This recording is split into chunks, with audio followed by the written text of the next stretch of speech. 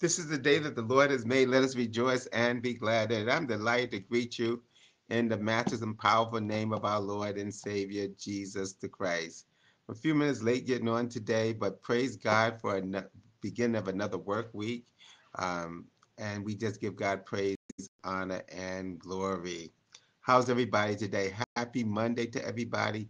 Can you believe that we're coming rapidly to the end of another month? I believe today is, let me see, wow, today is March the 27th. Well, anyway, God is good. Um, January, February, March, we're almost at the end of the third month.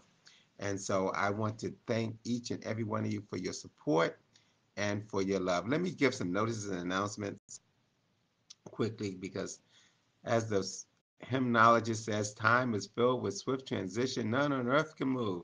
Build your things on, build your hopes on things eternal. Hold to God's unchanging hands. First of all, I want to thank the men of our church for a wonderful Men's Day.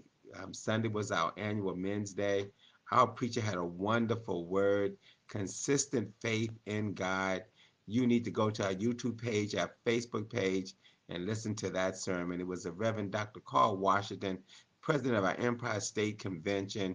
He came, stayed with us all day long, and we had a wonderful, wonderful time in the Lord on Sunday. I want to thank Deacon um, William Long, who is the chairperson of our deacon board, um, and Trustee Henry Russell, who gave wonderful, wonderful leadership to all of our Men's Day efforts this year. They had so many things that they did, and all the funds that are raised for our Men's Day efforts go to charities and missions. I mean, they had a popcorn sale, they had karaoke night, they had a Super Bowl party, they had the Martin Luther King Day program.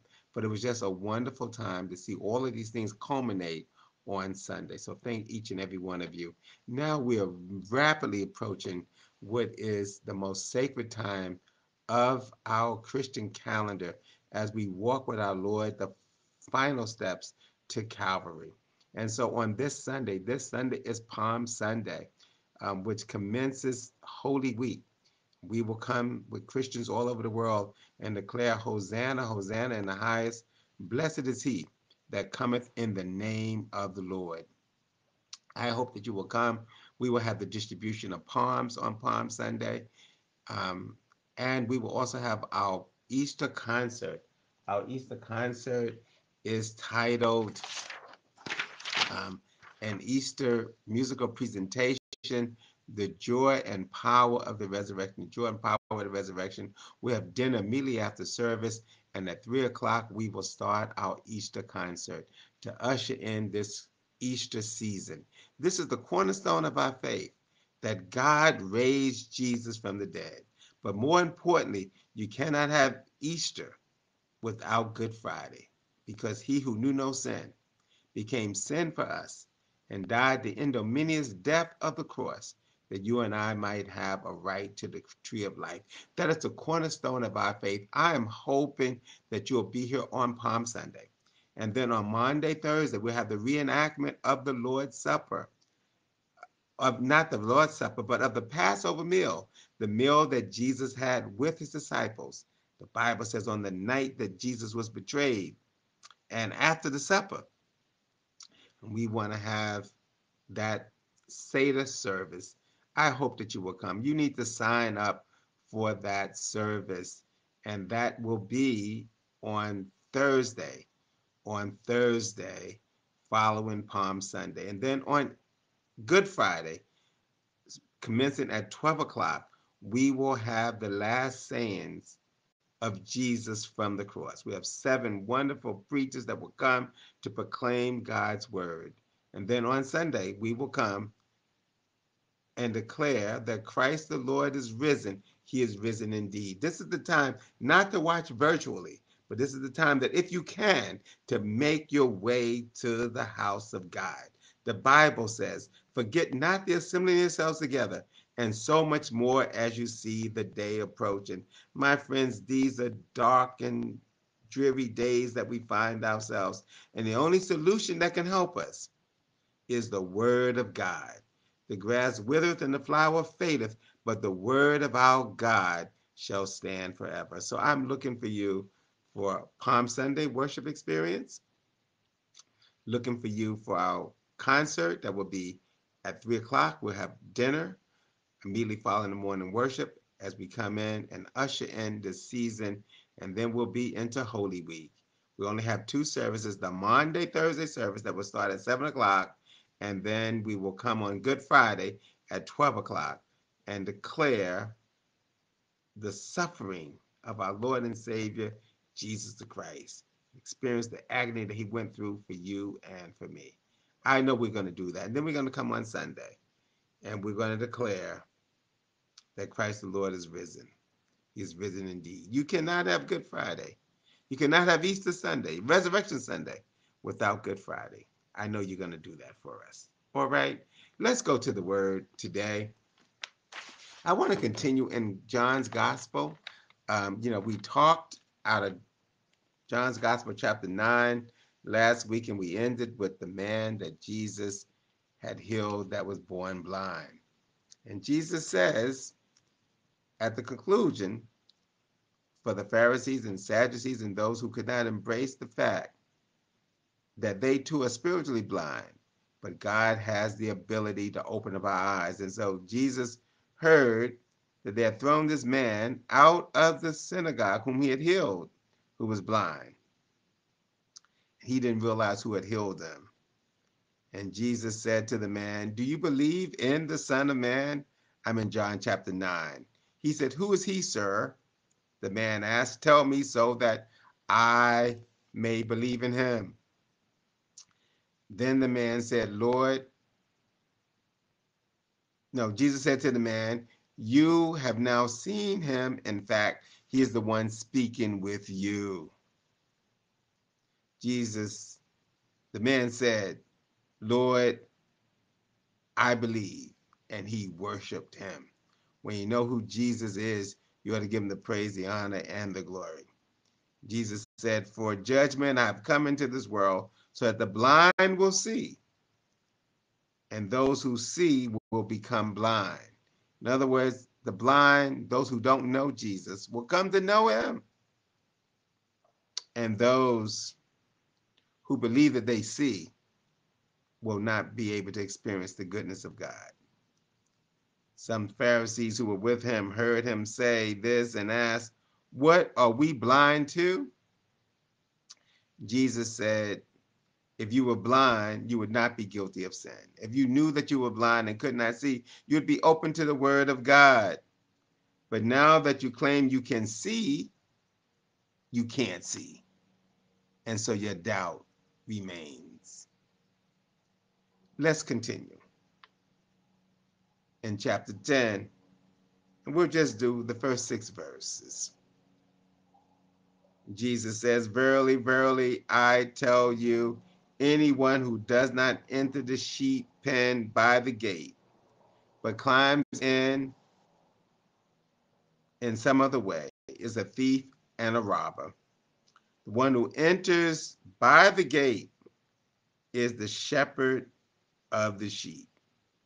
The gatekeeper opens the gate for him, and the sheep listen to his voice. He calls his own sheep by name and leads them out. When he has brought out all his own, he goes on ahead of them, and his sheep follow him because they know his voice.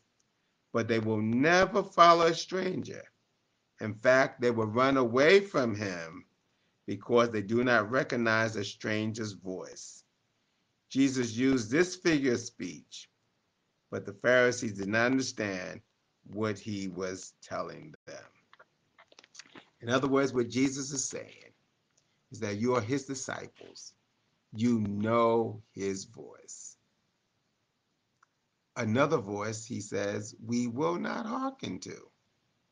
And so, as the pastor preaches and teaches the word of God,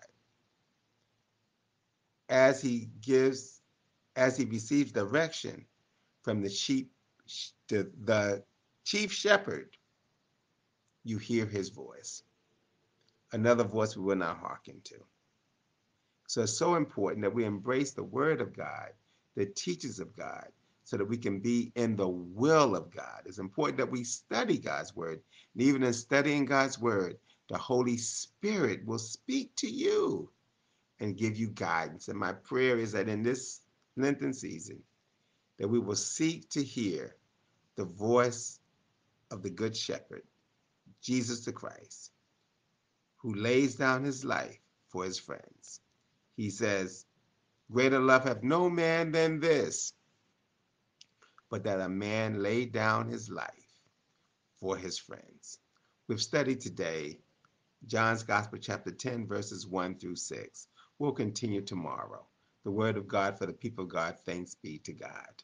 Well, thank you, Mary Harding, um, for reminding us. I forgot to announce, which is so very important, that on this Saturday, on this Saturday, we will have our fish fry, our pre Palm Sunday fish fry. The missionaries under the leadership of our Angie Brooks Circle will be selling fish. They'll have porgies and whiting. Um, so you want to come and support this effort. Again, their funds that are raised go to support our missions efforts. Also, um, we will have the stripping of the palms on Palm Sunday. And of course, the choir will be here rehearsing as we get ready for Palm Sunday. We also will have a cake and bun sale. One of our wonderful members, who's a member of our floor club, um, Sister um, Sister Willie, um, will be um, sponsoring that and helping to make that happen so you can get your bun and cheese, your Easter buns, as we get ready for Easter. I don't know about you, but I love the Lord. He heard my plea and pitied every groan. When trouble comes, I hasten and you hasten to his throne. Well, the word of God for the people of God, thanks be to God. Let's go to the Lord in prayer. Dear God, for this time together, we give you thanks and for another week we thank you. Thank you for watching over us last night while we slumbered and slept. Thank you for waking us up this morning and starting us on our way. Thank you for your grace and for your mercy. And now, God, as we enter into these holy days, we need your guidance. We need your direction. We need your peace. And we need your love. We pray, oh God, for each person in the sound of my voice, for those that are sick and shut in, oh God, we pray that you'll be a doctor that never lost a case. For those that are confused, we pray that you'd be our peace. For those of us who are blind and cannot see, we ask that you would open our eyes. Oh God, we love you and we thank you and we praise you. We thank you for life. We pray, oh God, for our friends and Mississippi and Alabama as they've been devastated with this earthquake, that you, oh God, would make the crooked places straight and the rough places plain, and that you would provide for them in this time of their need. We hear the Apostle Paul who reminds us who has known the mind of God and who has been his counselor. And so we bow, O oh God, to your sovereign will. For those, O oh God, that are bereft of spirit, that have lost, lost loved ones, we pray that you would be a counselor and a comforter. We pray now, O oh God, that you would help us to allow you to be our GPS system. For we hear Jesus when he declares that I am the way, the truth, and the life. No man comes by the, to the Father but by me. And so hear our prayer now. Incline your ear to us. It's in Jesus' name we pray. Amen. Well, God bless you. Um, let me just go ahead and greet you. I see you, Gloria James. We're praying for you. Thank you, Maxine, for your encouragement always. Um, thank you. Thank you, Marva Harding, for being on. Sister Cora Powell, thank you so much. Sister Virginia Chainer, thank you. Angela Reddix, Reddix, thank you. Sister Shirley Millard, thank you. Sister Una Reed, Sister Ruby Ramsey. Wanda, how are you? Bun and cheese, we're going to have that, yes. Um, thank each and every one of you so much. Thank you so much. God bless each and every one of you. Let somebody know that we're going to try to get through this week. Oh, tomorrow, I should say that up front. Tomorrow, um, I have a meeting in the morning. Um, we will not have by. we will not have noonday prayer tomorrow. Um, I'll be out of pocket tomorrow, but we'll be here Wednesday and prayerfully the rest of the week. All right. God bless you. Know that God loves you, and so do I. Let's receive the benediction. And now may the Lord bless you and keep you. May the Lord make his face to shine upon you and be gracious to you. May the Lord lift up the light of his countenance. May he grant you his peace and his love. And you're going in and you're going out, and you're down sitting and you're uprising, till we shall stand in his presence through Jesus the Christ, to whom be glory, majesty, dominion, power, both now and forever. Amen. God bless you. Have a wonderful, wonderful week.